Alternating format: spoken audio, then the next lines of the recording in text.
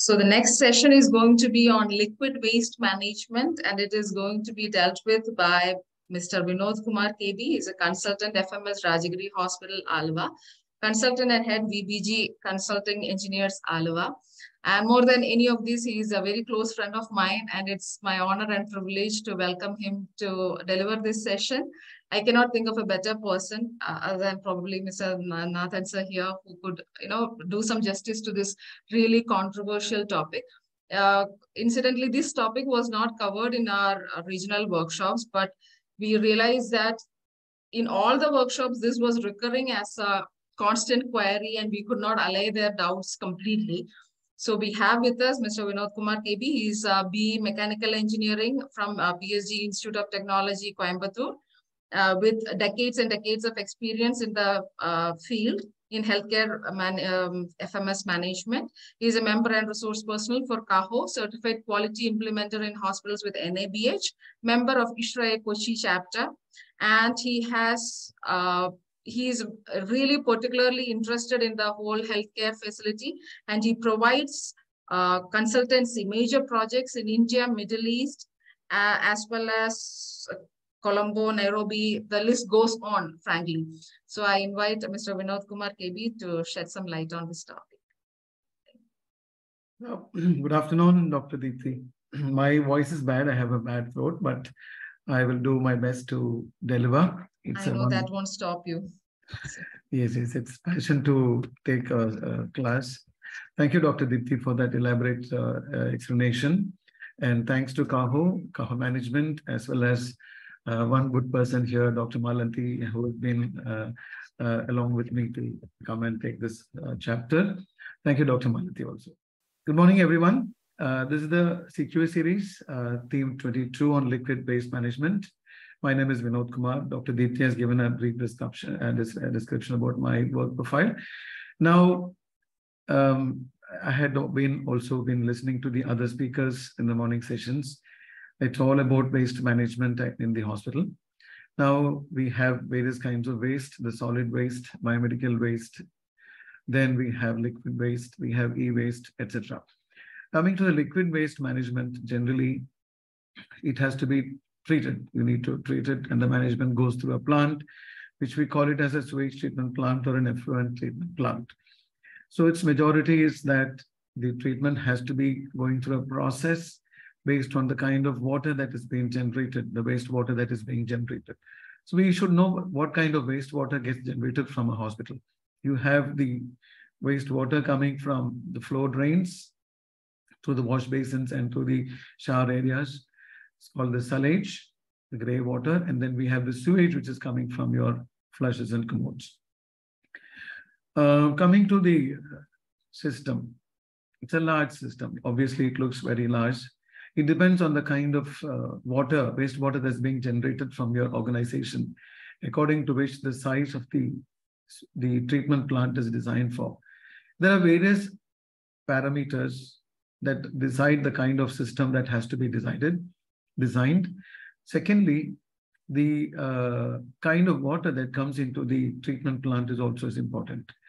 So what are the different kinds of wastewater that comes in? The wastewater coming from the sewage, then we have wastewater coming from the flow drains and wash basins, etc. We have wastewater coming from the laboratory. We have centralized air conditioning systems in major healthcare facility where there is blowdown coming from the cooling towers, which is also a chemical waste water. Then we have wastewater coming from the canteen or the kitchen. So that has considerable amount of solid waste as well as Uh, you know, oil and grease. So they need to be taken separately and brought into the main collection tank or the equalization tank of the treatment plant, for which we have a certain amount of preludes before they get into the equalization tank. This basically the thing is what kind of system that you have enables the designer to design the right kind of a treatment plan for your hospital. Why? Because the kitchen wastewater depends on the kind of numbers that you, you generate in terms of food production per day per meal.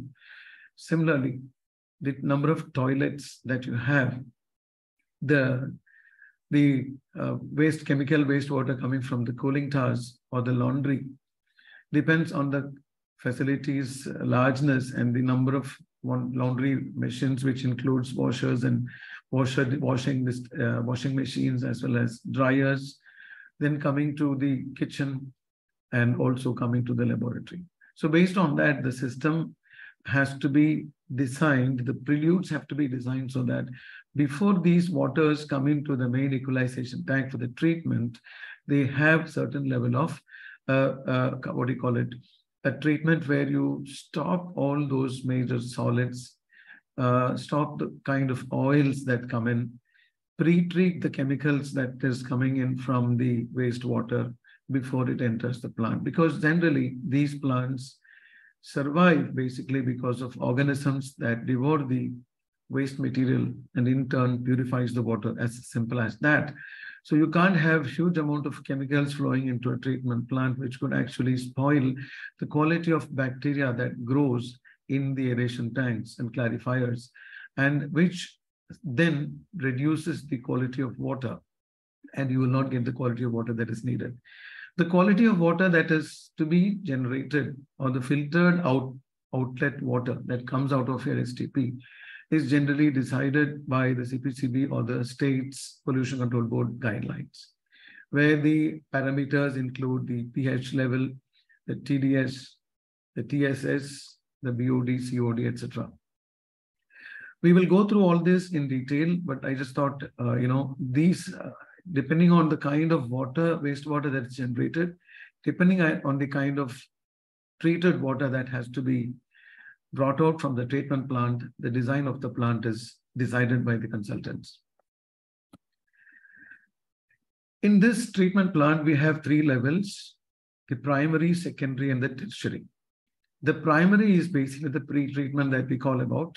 And this also is specifically mentioned as far as the biomedical waste treatment rules guidelines 2016, which talks about pre-treatment for any, any hazardous chemicals that comes down to the water, wastewater, before it enters the treatment stage into the uh, treatment plant, the sewage treatment plant. So basically, you have to go for a pre-treatment, which is a neutralization or equalization or a precipitation, and then it enters the secondary part of the plant.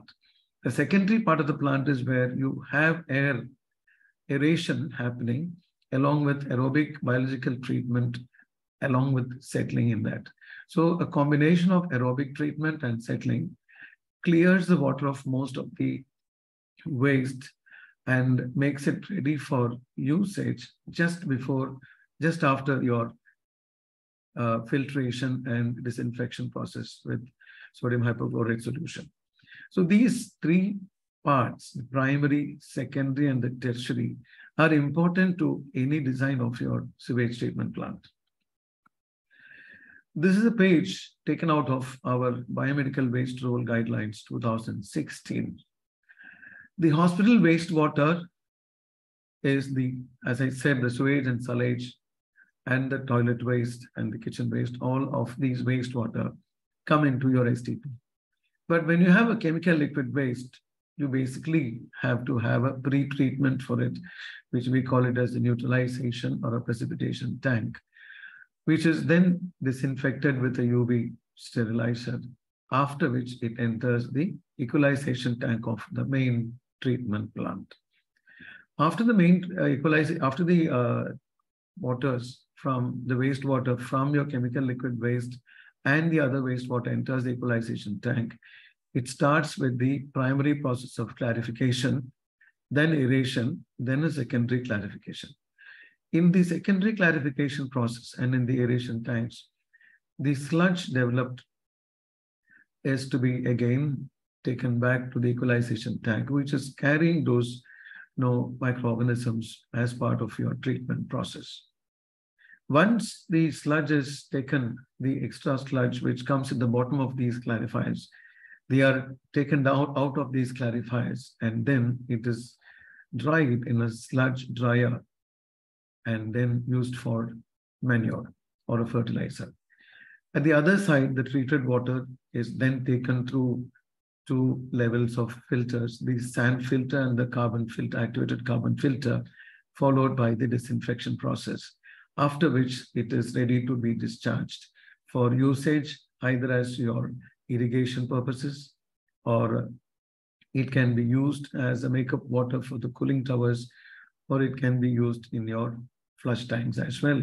But again, you need to be very sure about the kind of monitoring process that you have across the different stages of the water as the water passes through.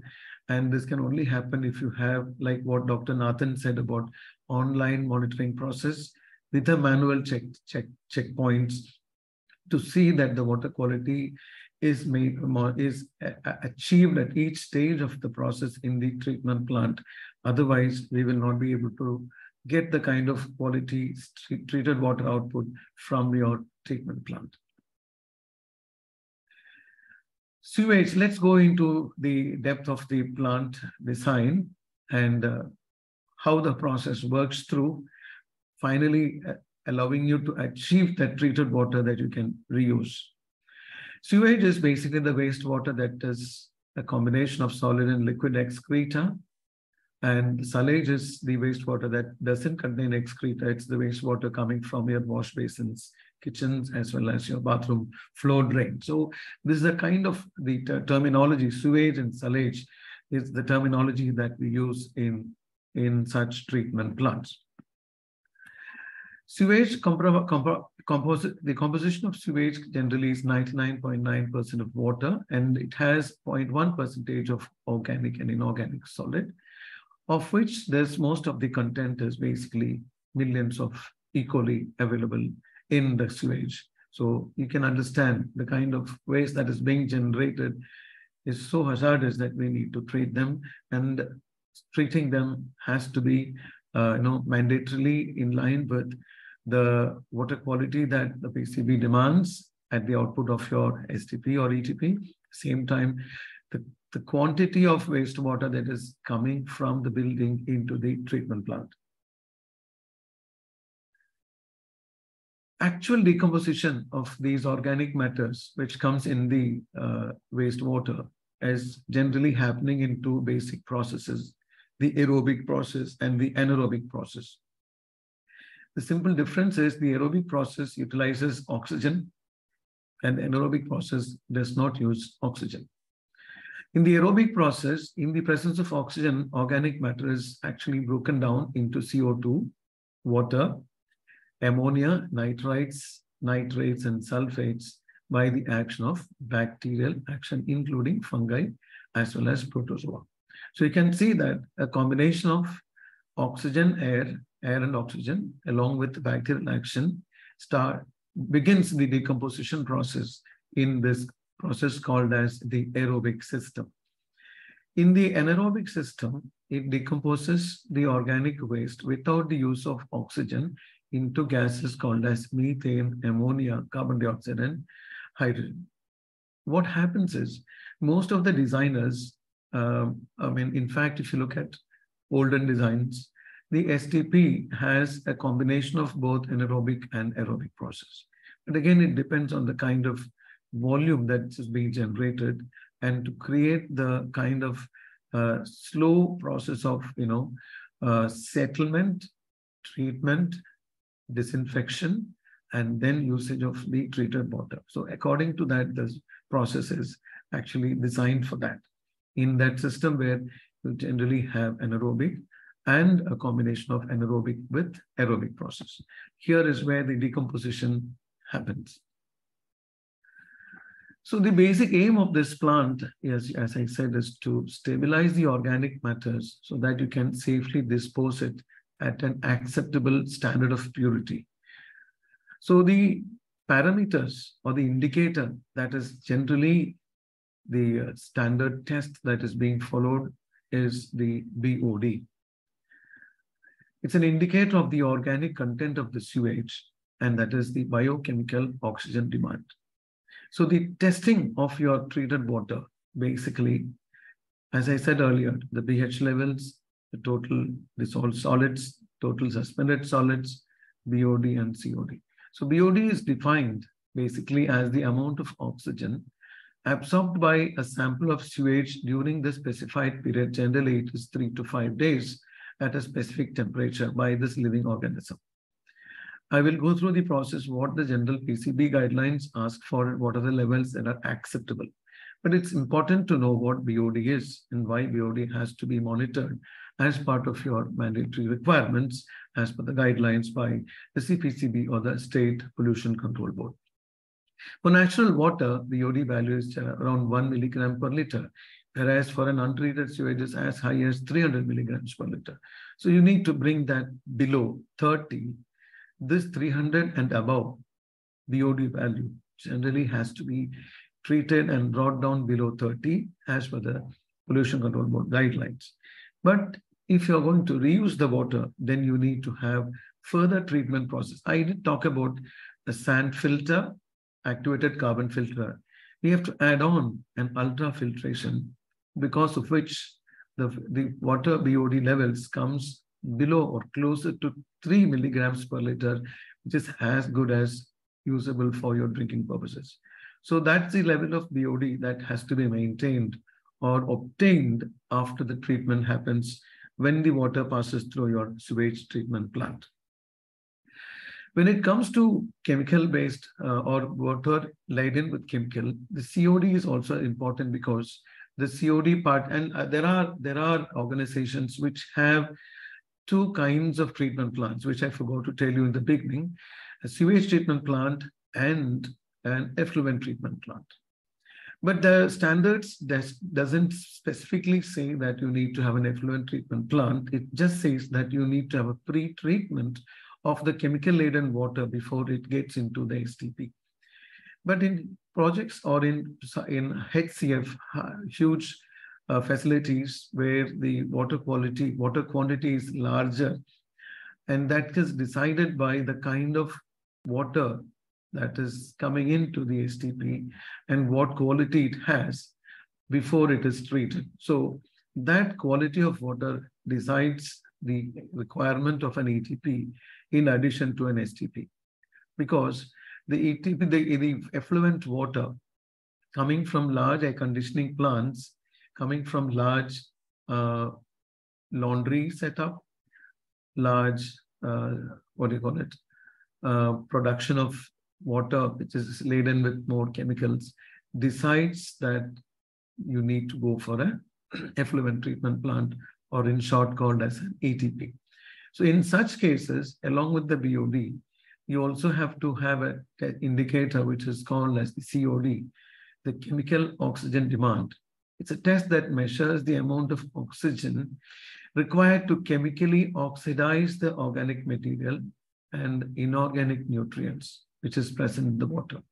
After the treatment in the ETP, then the water can be taken back into the equalization tank of the STP and you follow the process in the STP so that you don't damage or disintegrate the bioorganisms that are thriving in the aerobic tanks, which generally decompose the waste.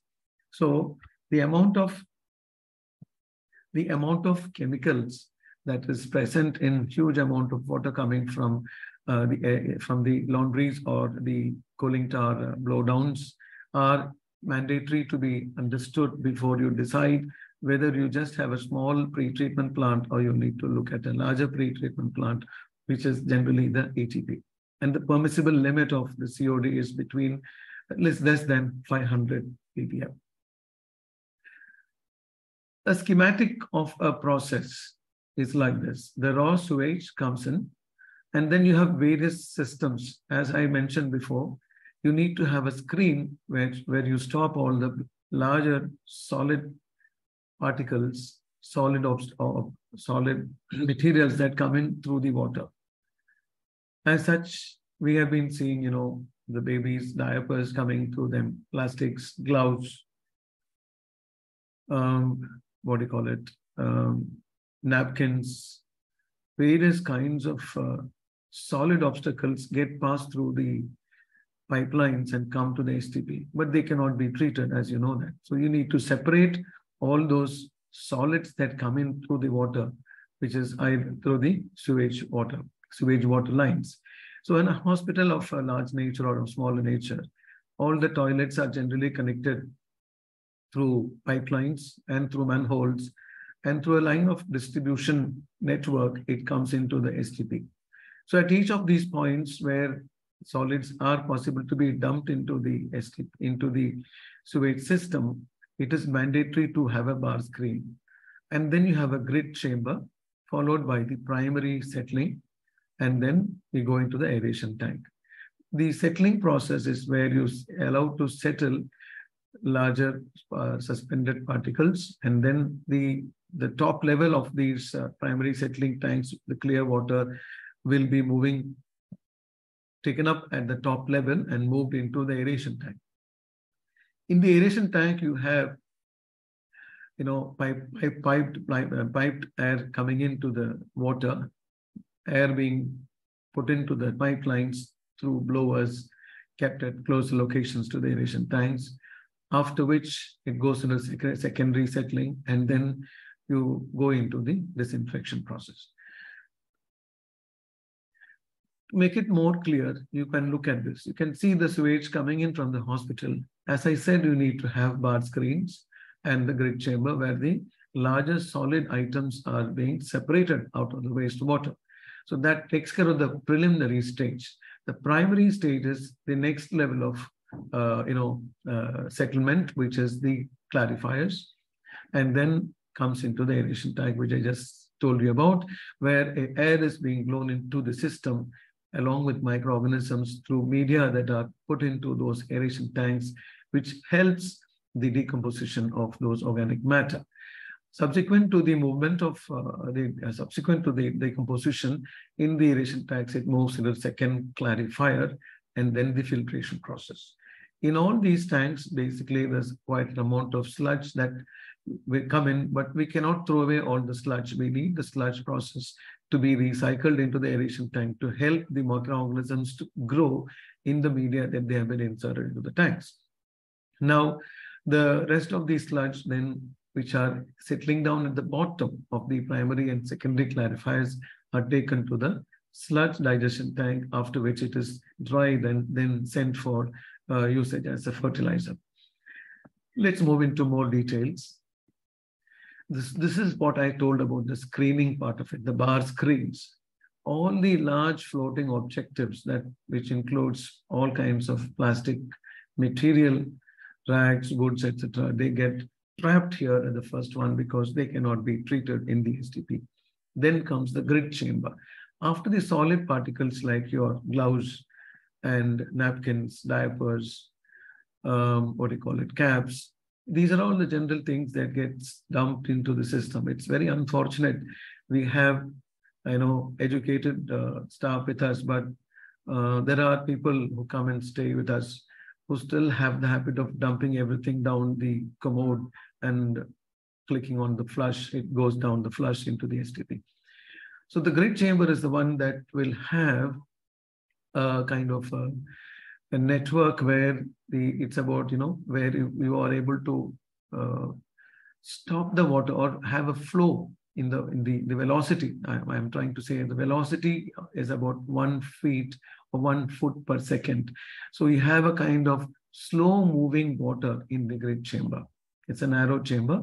And this allows still, I mean, I mean, there will be still heavier uh, uh, solids or ob obstacles, heavier uh, solids coming along with the water, which uh, would have passed through the bar screen because bar screen is having a net for larger, uh, heavier, uh, heavier solids. So this grid chamber will have a slow flowing velocity in them, wherein which you are allowing the water to go very slow. And because of the slow process of its movement, it allows some more solids to get collected at the bottom of the chamber. And these grid chambers are having outlets at the bottom, which are normally in a closed position.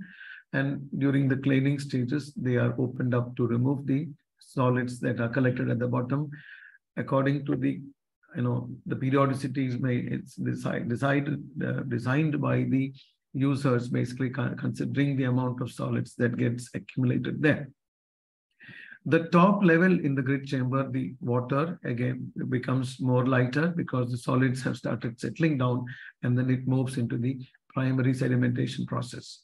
Here, the primary sedimentation tank is a tank. It's a large rectangular tank. Here again, the flow rate is maintained very, very slowly. Again, one to two feet per minute. And the tank size is determined based on the volume of flow that comes into the tank. And considering the flow rate, we know what size the tank has to be made up of. Here, 50 to 70% solids will settle down because of the gravity. Because of the gravity, the solids will start settling down. Again, uh, we have the sludge which is getting at, the bottom portion that needs to be uh, removed at regular intervals. And at the top level of the water, you have a scum that gets uh, need to be also removed. So the clear water, the top layer will be the scum, the bottom will be these organic solids, heavy solids which have settled down due to gravity. In between these two, the water which is moving slowly at close to two feet per minute gets into the next level, which is the secondary sedimentation process, which is the aerobic oxidation, which is the, uh, what do you call it, the uh, where you use oxygen and media, which contains these microorganisms, which helps into the uh, in decomposition uh, in the, of the uh, organic matter coming in with the liquid waste. So the effluent from the primary sedimentation tank, which is then, uh, which, which contains a proportion of uh, organic matter in solution and numerous living organisms. So it has high oxygen demand and subject to this aerobic oxidation, we use we, we, we help the, the organisms to decompose the organic matter then.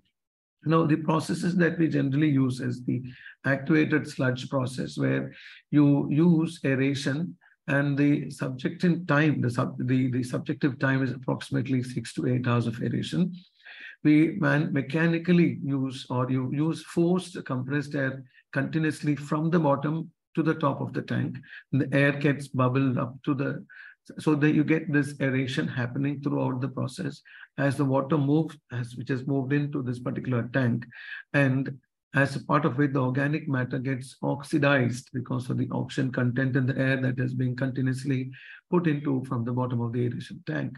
And the, the organic matter gets oxidized into CO2, nitrates, and water with the help of the bacteria that is already there in the media that is put into the aeration tank. So the two factors, the bacteria, aerobic bacteria, and the presence of forced air or compressed, forced compressed air helps the you know uh, aeration process in the chamber here.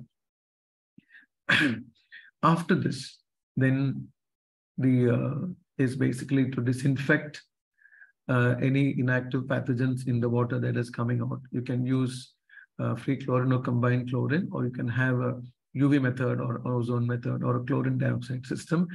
Generally, we use the UV or a hypochlorite solution disinfect. You have a chemical dosing system where the solution is put into based depending on the quantum of water that is coming in because this basically is treat this this is the pre-treatment uh, process of uh, the uh, wastewater after your uh, aeration happens so here after this disinfection happens you take it through the two levels of filters. So here, what is important is the chemical disinfection and filtration helps you to actually handle, uh, I'll, I'll come, come back to the screen again.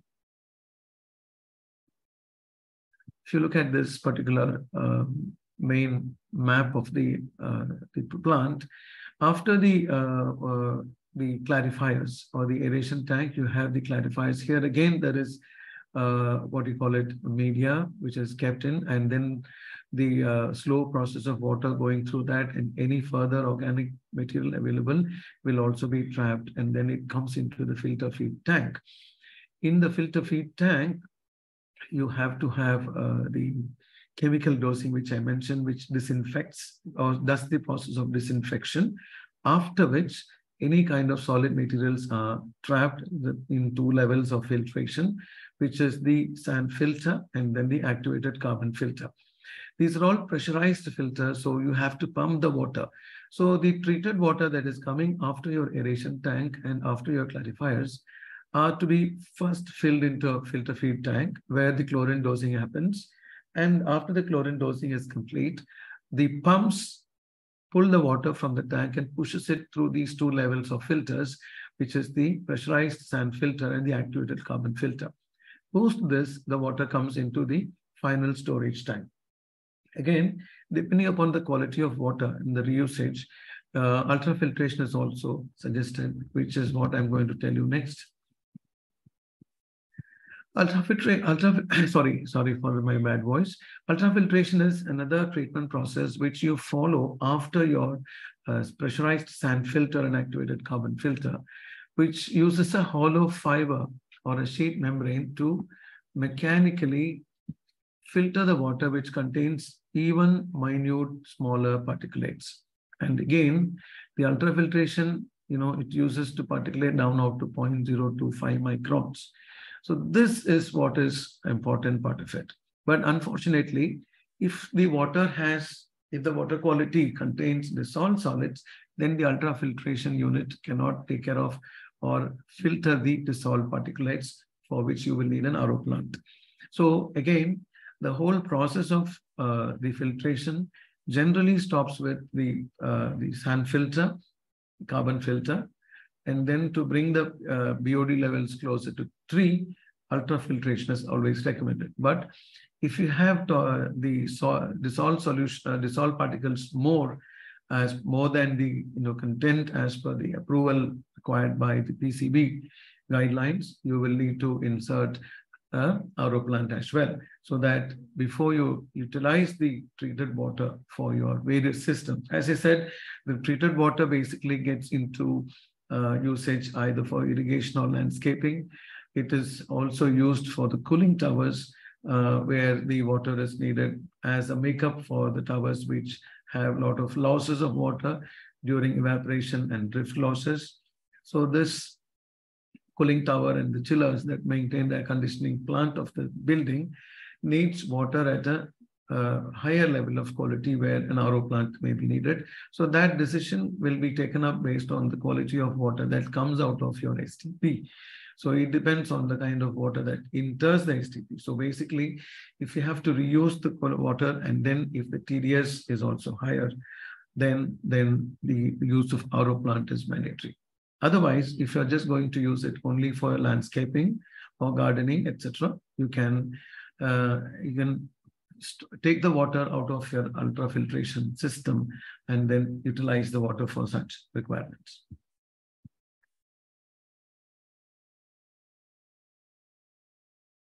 As, as such, you, you get in a lot of sludge that is a part of uh, waste, that is uh, solid waste coming out from the the different stages of uh, settlement in the STP or ETP, which needs to be actually taken out at various intervals depending upon the sludge formation in your plant.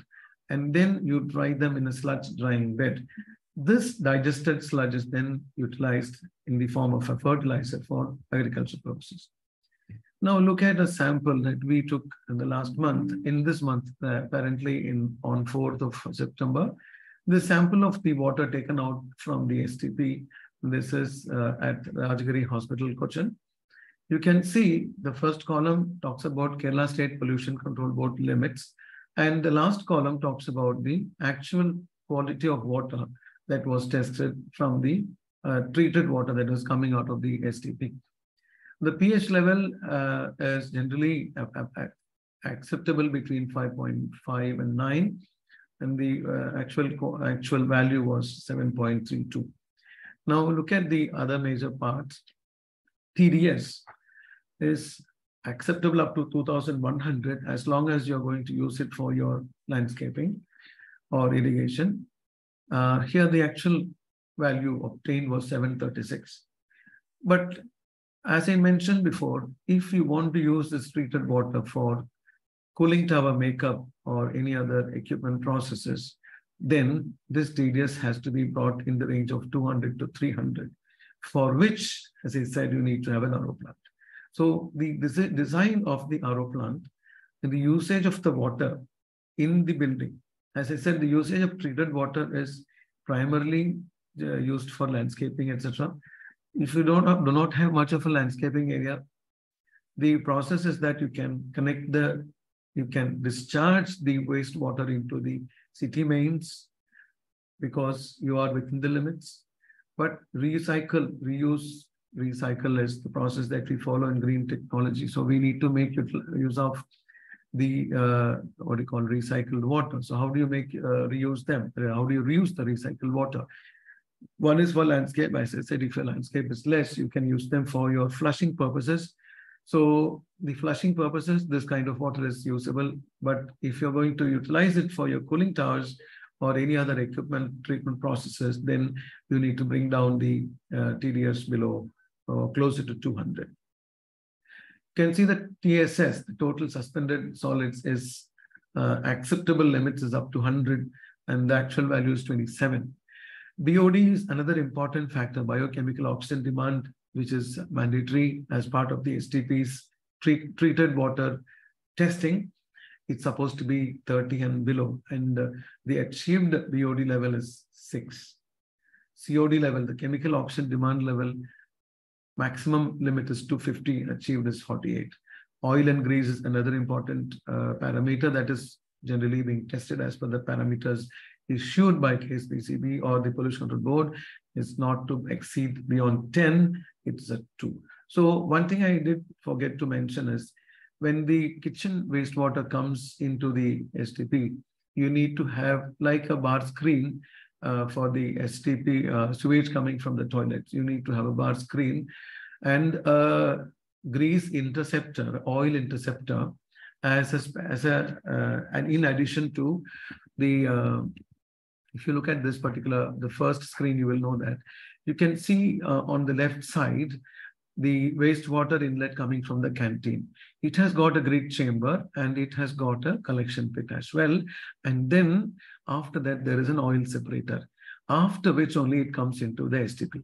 So you can see that you are actually, because you know, a lot of rice and basic uh, kind of small kinds of vegetables get into the tank, which cannot be treated and they become uh, you know, very nastily smelling when they get uh, stuck in the tanks because as you see, we have a lot of settling tanks in the initial process in the equalization and reactors, and then you come into the aeration tank. So in the initial process of the treatment, it's more of settling.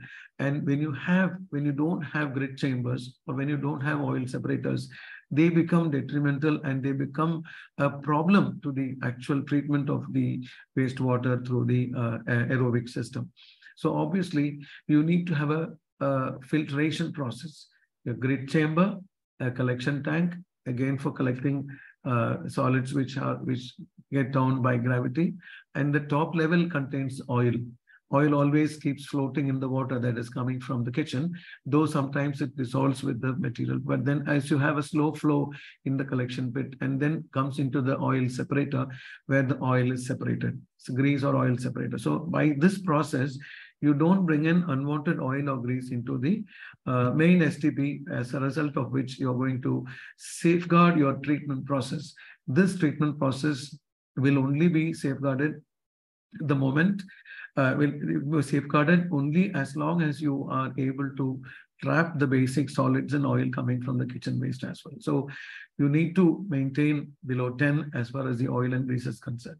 So this is, I thought about showing this particular treatment, sorry, the test report, which actually says that you need to, uh, you know, uh, uh, have a proper system, a system designed preliminarily, uh, primarily on the process that kind of water quality that you generate, the quantum of water that you generate, and the process of expansion, the process of demolition, the process of adding new services.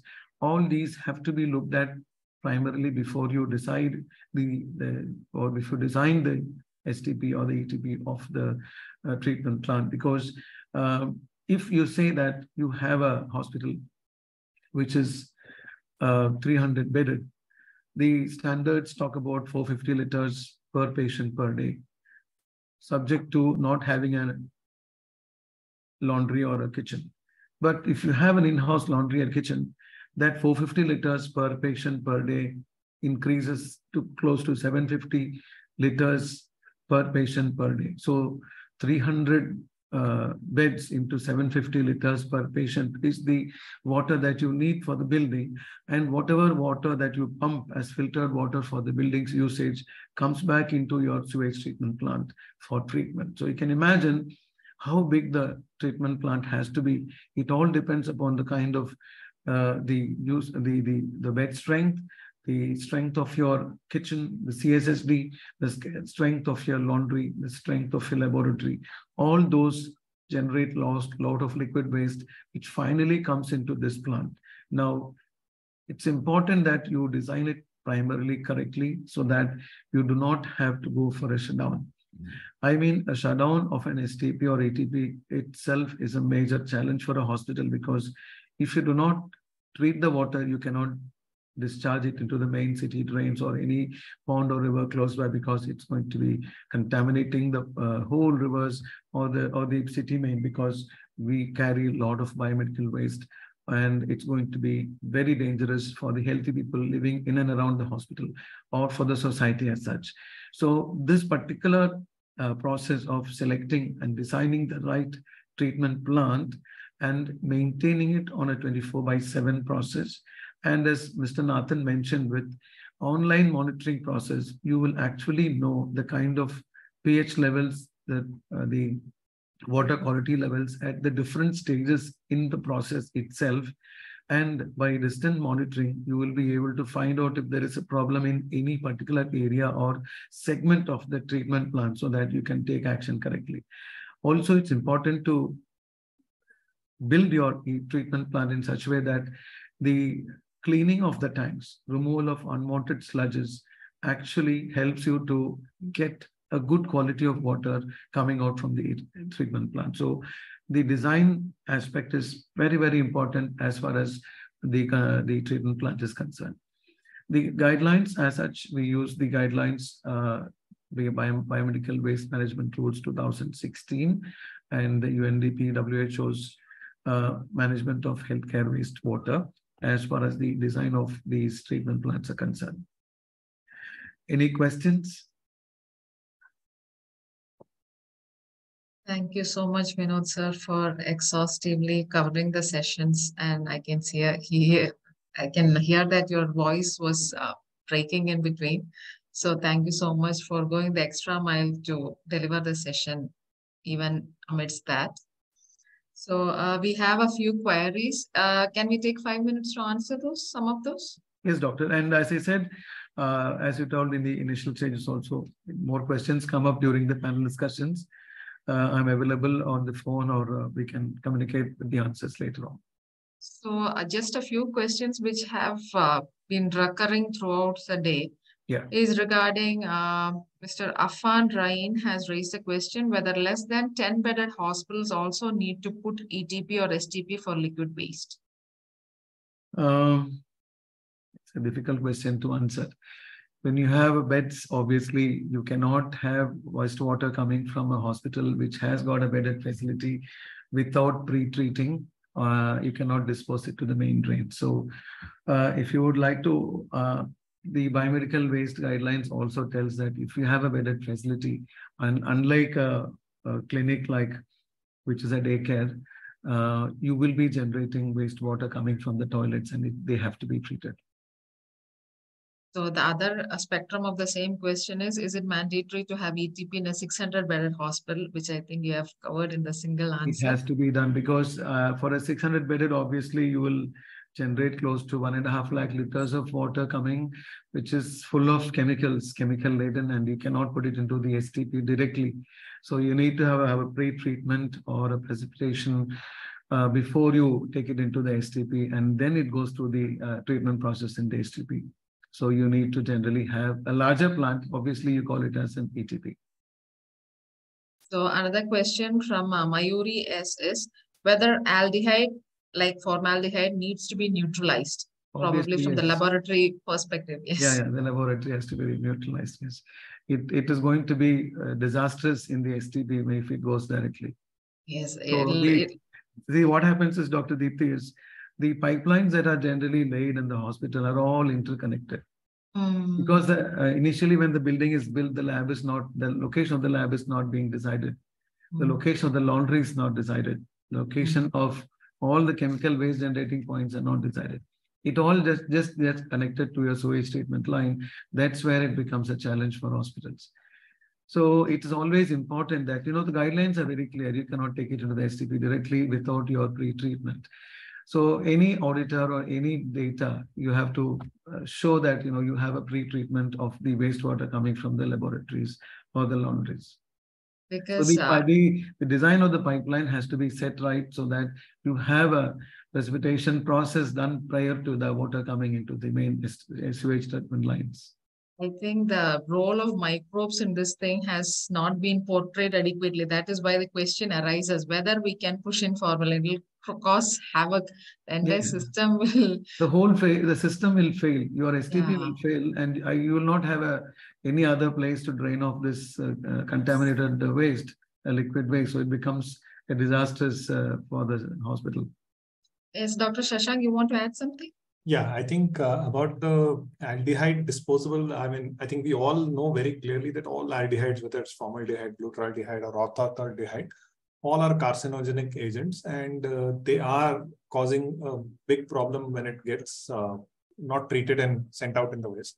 So when it comes to formaldehyde, glutaraldehyde, uh, there are very clear guidelines, uh, you know, in terms of how you got to dispose them. But with orthophthaldehyde, which is also common as OPA, which is currently quite popular in a lot of Scopy units, is that uh, uh, the company itself specifies that it has to be neutralized uh, before you can discard it. Uh, in fact, if you don't discard it, actually it leaves colored patches in your, you know, wash basins and sinks and bathrooms and other places. So that is something you have to keep in mind before you even send it out to the ETP or STP over here.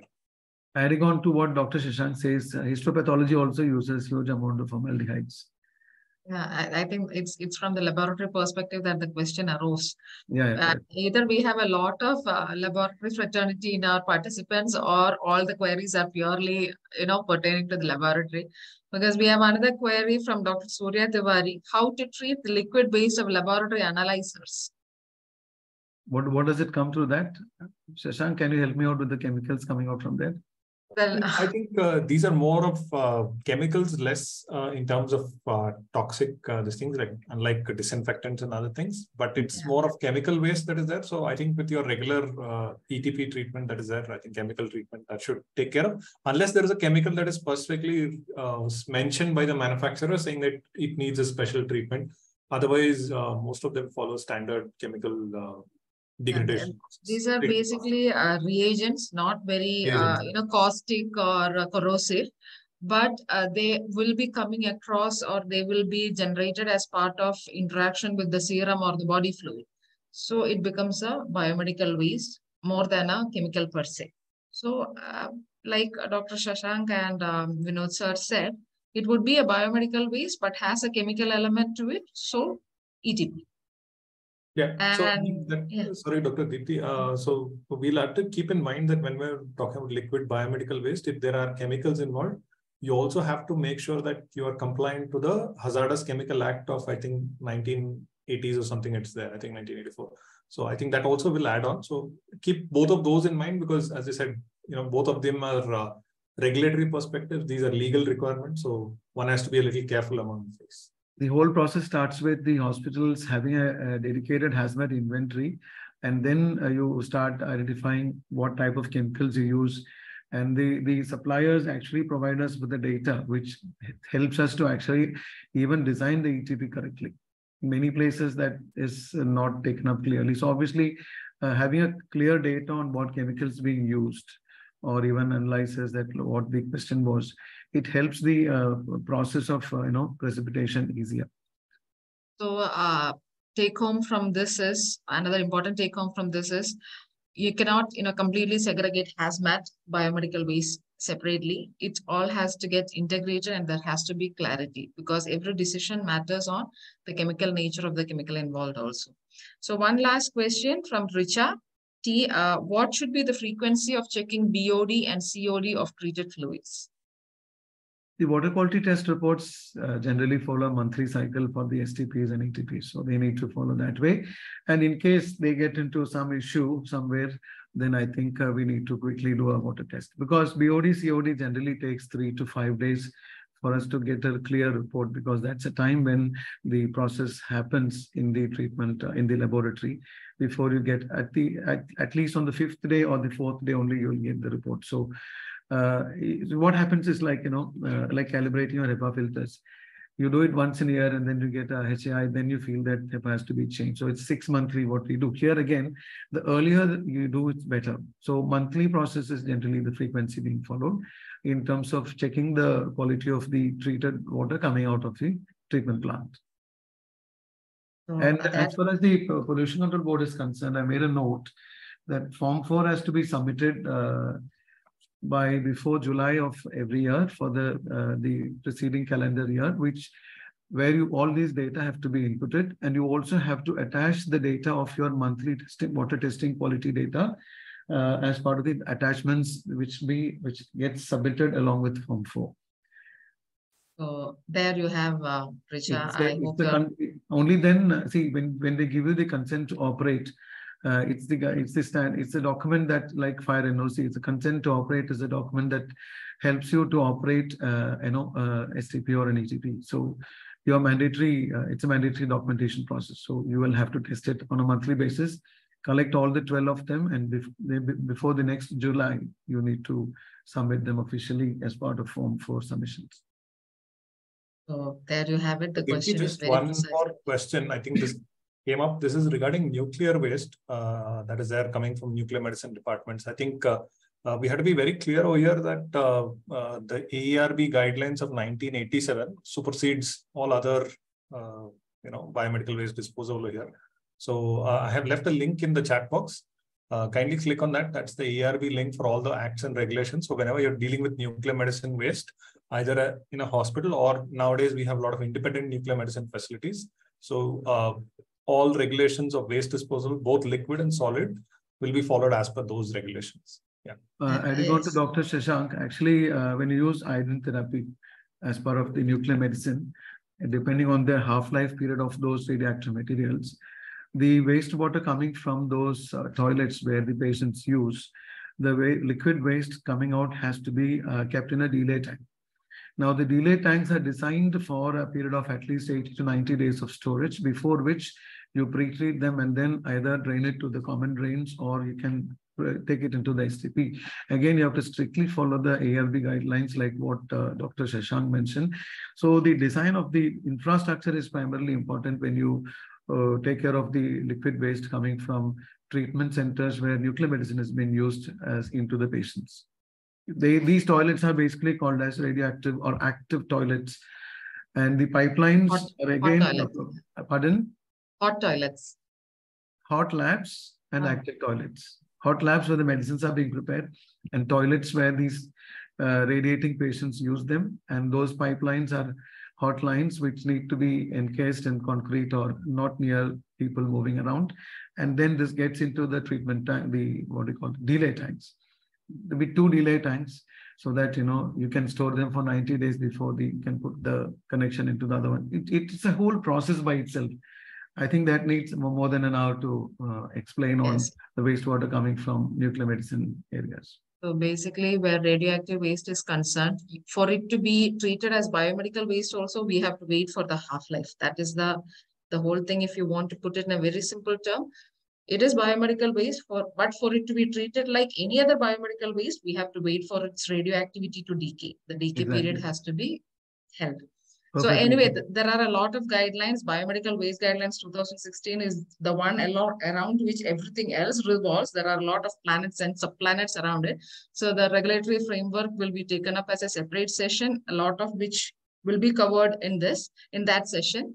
So uh, thank you so much, Vinod sir. Vinod sir has agreed that he will be taking on questions. Anything that is pending, he'll be taking on eventually because he's one of our panelists also. So uh, with that, uh, thank you so much, Vinod sir, for sparing the time during a busy working day, your busy schedule. It was a very enlightening session and something that has cleared a lot of queries. There were a lot more queries, but many of them were addressed during your session, so I didn't take it up. So thank you so much. Uh, with that, maybe we can move on to the next Let one. me thank you. folks. Yeah,